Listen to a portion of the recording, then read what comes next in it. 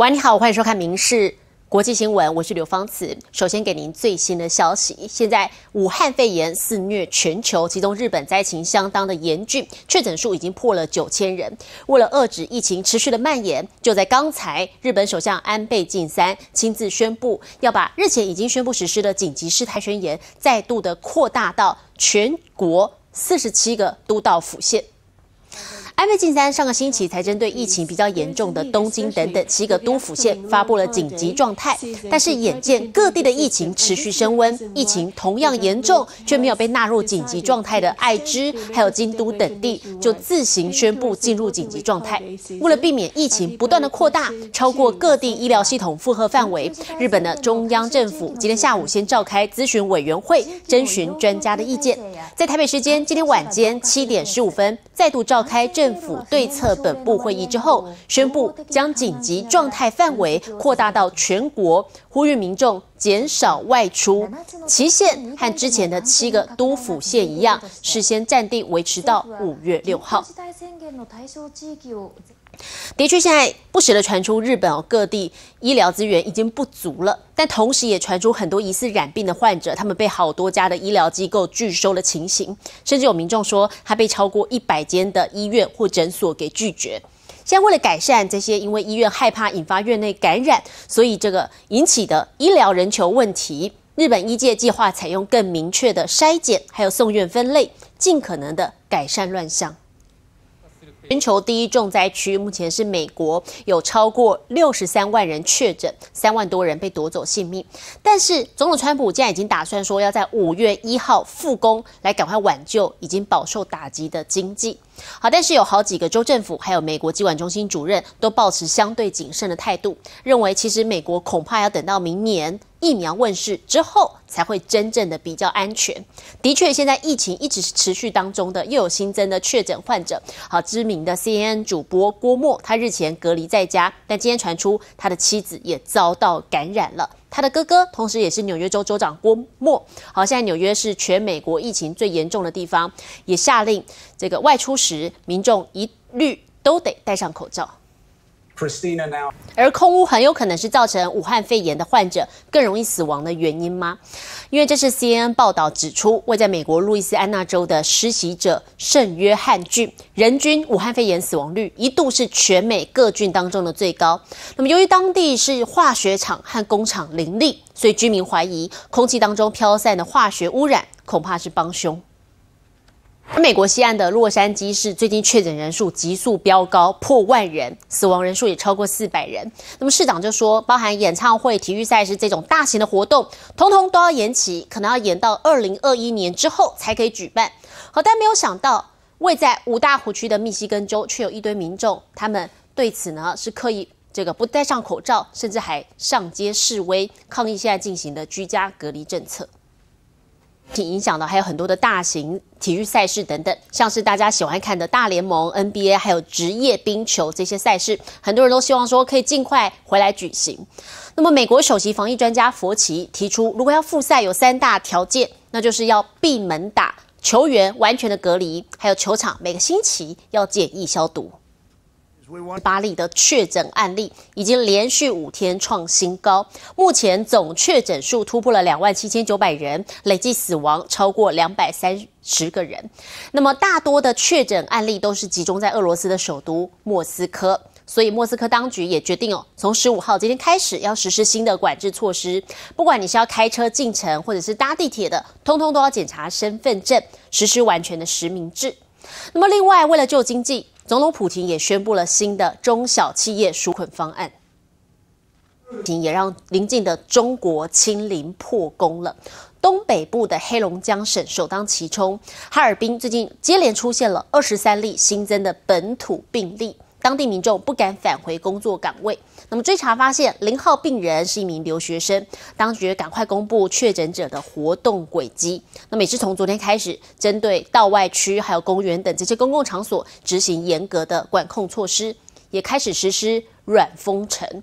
那么哈尔滨卫健委主任还因此遭到拔关，哈尔滨市场也被约谈。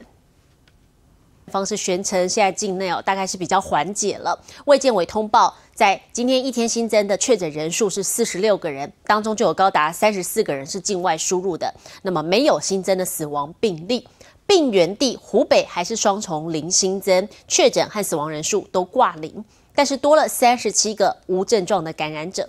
湖北省现在疫情是照计划退烧，所以之前来加入行列的这个雷神山医院就按表定在昨天关闭了，所有的国家医疗队全数撤出武汉。那么很有可能就是要前进我们刚才报道当中所看到的最近疫情相当猛爆的黑龙江绥芬河。国会大选有两个亮点，好，除了是疫情爆发以来民主国家的第一场全国大选之外，甚至还出现了第一位脱北者当选，那么当然也格外受到全球的关注。南韩执政党共同民主党阵营拿光了这个五分之三的席次，成为南韩媒体当中的超级执政党。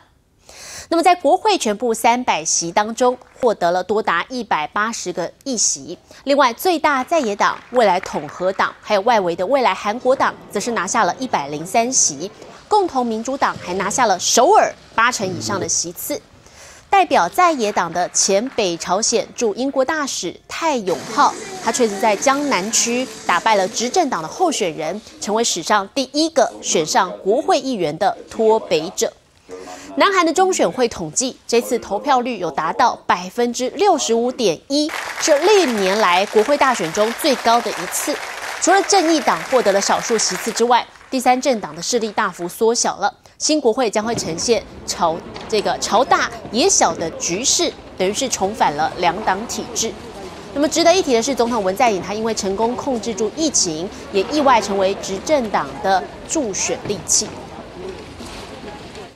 好，疫情来到英国，武汉肺炎的疫情也是相当严峻，超过一万两千人染病身亡。那么，一名九十九岁行动不便的老兵，他还特别帮医护人员发起了募款。他发愿用辅助器在后院走一百圈，希望大家可以捐一千英镑来给医护人员。没有想到回响非常的热烈，他总共募到了一千两百万英镑，约折合超过新台币四点六亿元。